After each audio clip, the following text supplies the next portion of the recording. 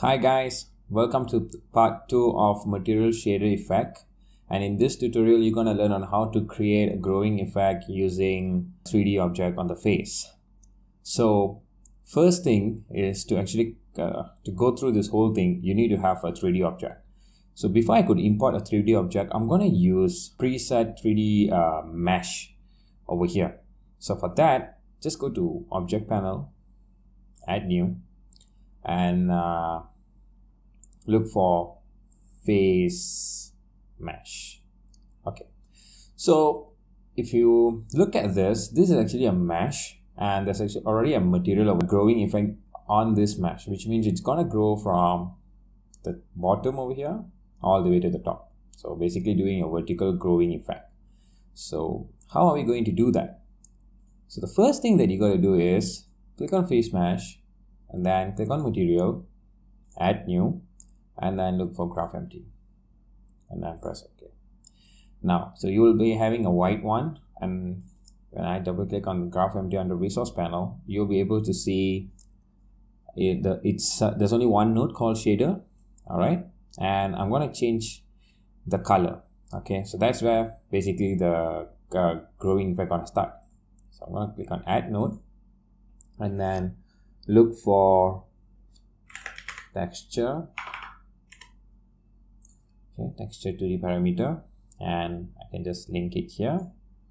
And yeah so I do have this. And for me to actually add an effect I mean a texture I need to import one from the resource panel. So add new import files. And then look for wood open. And then go to custom map. Click on this all right so you can see it's basically kind of like a wood uh, texture on the face. Okay I'm gonna use this texture right now to actually make it more like a growing effect. So, so i'm gonna just uh, change this custom map to this text. Okay. All right now now so this is how it looks like so yeah. So how can we create a growing effect? So first let me just cancel this thing out and then double click open it from the side. And so you can look at over here uv coords right? Change this to custom. And i'll explain to you in a, uh, in a bit on uh, what is this i mean what uv coord really mean using that. Okay? So as soon as after you, uh, you change the setting to custom you will have an input that you can actually uh, plug uh, just plug in from another node. So why is this important? Why are we trying to actually create over here? So let me just show you another step first before I can go there. Add node and then I'm gonna look for I'm gonna look for UV okay. surface UV coord okay zero. I'm going to look for zero then connect it here. And then this one will be connected to and this will be connected here. Now why are we adding the uv coord okay before we could actually understand i mean for you to understand better about uv coords it's very simple. So surface uv coord means uv coordinate. So that's what this coord really means. So if i click on this icon it really shows uv zero coordinates of the surface. So think of it this way this is basically a mesh all right there's a mesh on the face right now. So when you add a surface uv coordinate what happens is that there's going to be a 2d plane being projected on the 3d mesh.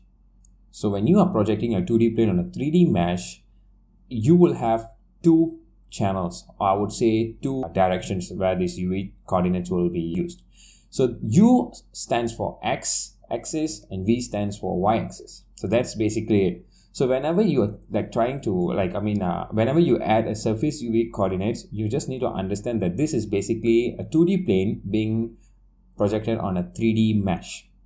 And uv stands for x and y axis respectively. Okay. So why are we creating these uv coordinates uh, i mean surface uv coordinates here? So the idea is actually to create a growing effect so growing is a effect is basically growing. You want to make sure there's a starting point uh, I mean, there's a starting point and also there's an ending point, which means it's going to grow from point A to point B. And Surface UV Coord allows you to do that, which means it's going to allow you to create an animation where it's going to grow from either from uh, in the y-axis direction or the x-axis direction. So I'm going to show you on how to create that using y-axis direction. So that's exactly why we added the UV coordinate. Okay. Now, let me just uh, cut this thing because we know uh, we need to have a few settings over here. We need to do a few things before we could actually connect it here. So the first thing that we need to add over here is subtract. Add node. And let me look for subtract. Okay. Why are we using subtract? Okay. Let me plug this plug this thing in first. So when I plug this thing here, you can see the XY, uh, there's only two channels over here. There are two channels and then it's being plugged into this. And this is basically subtracting A, I mean B from A, which means A is gonna like subtract B. And the reason we are doing this is very simple. We want to make sure that we are subtracting to create the growing effect.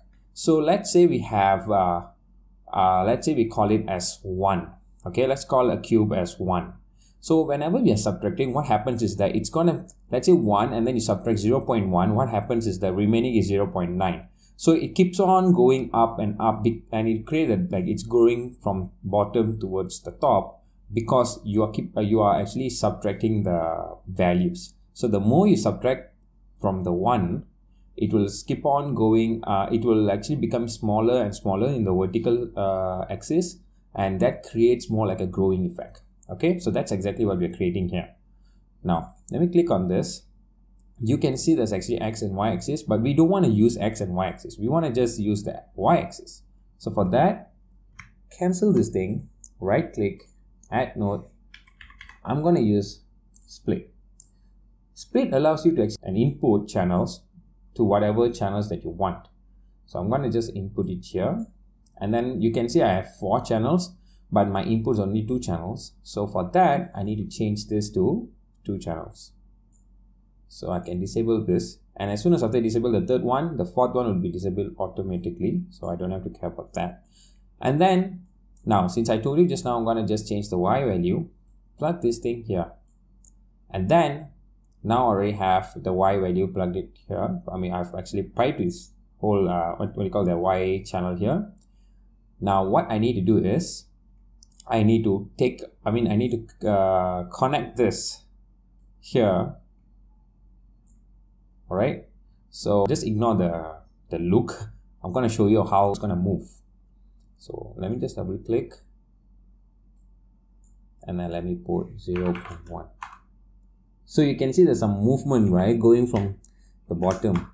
So you can see, let's say if I put 0 0.5, okay 0.4 you can see there's a white layer over here and then it's keep on like i told you just now this whole uh, texture is called i mean is uh, let's say the value is 1 overall in y-axis so whenever you're uh, subtracting 0 0.4 0 0.3 0 0.5 it's becoming like smaller. It creates that effect from the bottom. So the ones which are like not like uh what do you call visible will be in white. And i'll show you how to actually change that color in a way in a bit. Okay now you have this tool okay now what we're going to do is we cannot straight away put it here because we also need the x-axis. So for that just cancel this. We're going to add another node called combine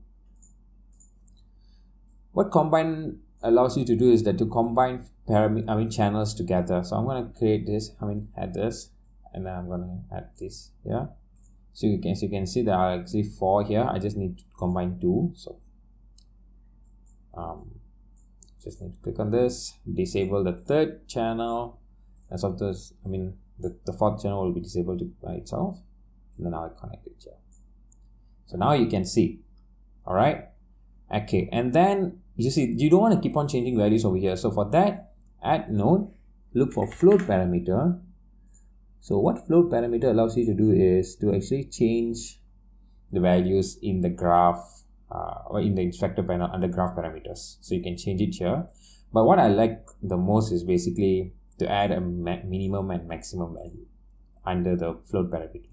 Then you can see that I can actually just move it like this.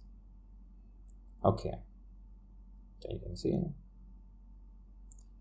All right so this is basically what we're trying to create. And we have actually created the whole animation right now.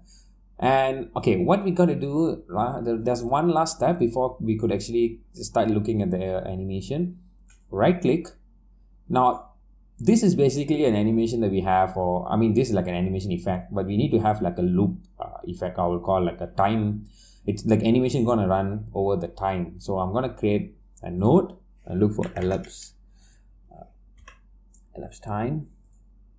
So elapsed time is basically if you look at uh, is like total time elapsed. So which means it's gonna keep on like a run time thing which are, which means it's keep on running. And then this is basically the time.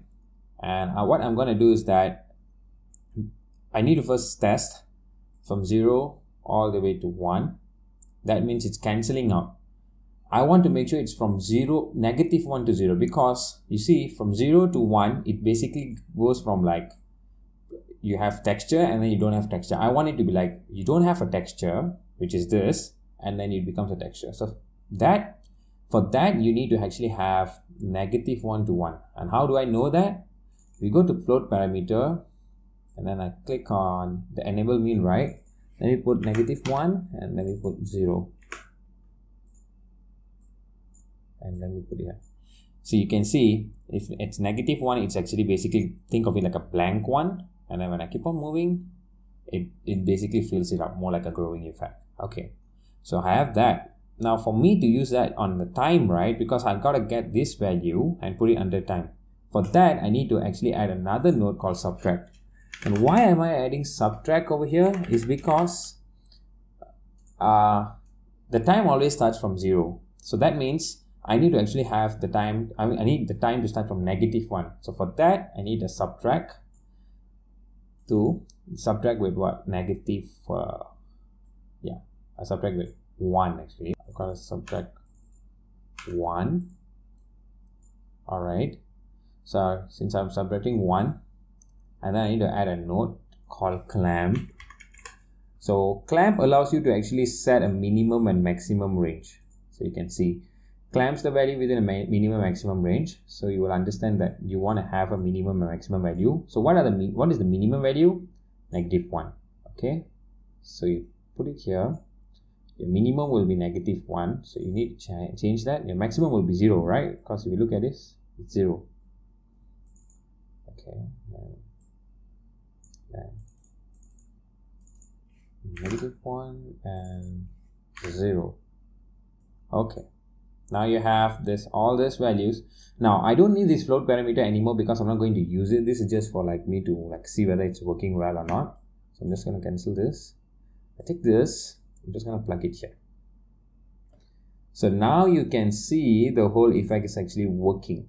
Now why is there a white like you know a white uh, face thing on top of the face before you? It's more like growing from white i mean changing color not like growing effect. Is because this whole texture is actually pulling i mean whenever you look at okay you look at this when it's it's going from top i mean bottom to top on the white layer. So i need to change the layer to a transparent one so that whenever whenever it's growing it's not like you can see it's white. It's basically transparent.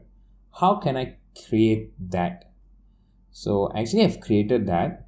And to create it very simple so let me just click on add new import that file okay i have something called pixel over here so all right so pixel based texture that i created by using photoshop so what i did was basically going to photoshop and then I deleted the top and the uh, one pixel from the top and one pixel from the bottom. Why? So that whenever I'm moving from uh, bottom to the top, it's not like it's dragging. It's dragging the transparent part of it. It's not dragging the the whole uh, texture at the one at one pixel over there. I don't want it to be like that at all. So it's more like dragging the transparent effect from that. So yeah, so that's exactly why I actually created this one called pixel. Okay, now create uh, I mean click on graph empty and then this base texture I'm gonna click on base texture and put pixel once I've uh, changed this, you will be able, you will see the white. And the reason is very simple because the blend mode here is disabled. I should change this blend mode to alpha test because this is basically using a transparent effect because I took out the pixels, right? From the top and bottom. Since I took out both pixel, I mean the one pixel from top and bottom, it will be transparent. And in the, in um, 3D language, I could call it like I, uh, people will call it as alpha, right? So it's more like alpha. If alpha equals to one, it's opaque. If alpha equals to zero, it's transparent. So I need to put the blend mode under alpha test to make sure the transparent effect is there. So when I refresh, you can see the effect is running. So that's exactly how you create a face uh, growing, I mean, a, an object growing effect over the face. Since you already create this on the face mesh, what I can do right now is that I can actually add any 3D model on the face and just replace the material with whatever material I want to have. And in this case, I'm going to just have the shader empty material. So let me just uh, delete all this. Okay.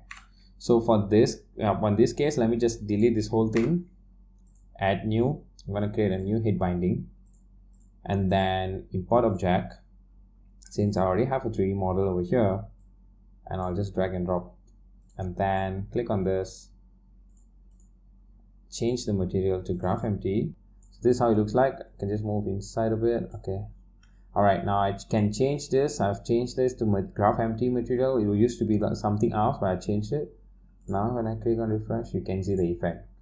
But the only thing is different for this 3D object is that it's going from uh, left to right if you look at from the, the, the preview panel point of view is because the 3D object has a left to right for the vertical one. Supposedly it goes from like the bottom to top, but it's going from left to right because the 3D models are, because the model is actually detecting this, uh, what do you call the effect from left to right as if it's a vertical one okay so it doesn't really matter because end of the day you want to create that effect and you can actually create this growing effect on any 3d model. Just change the uh, what you call the material and you'll be able to use it.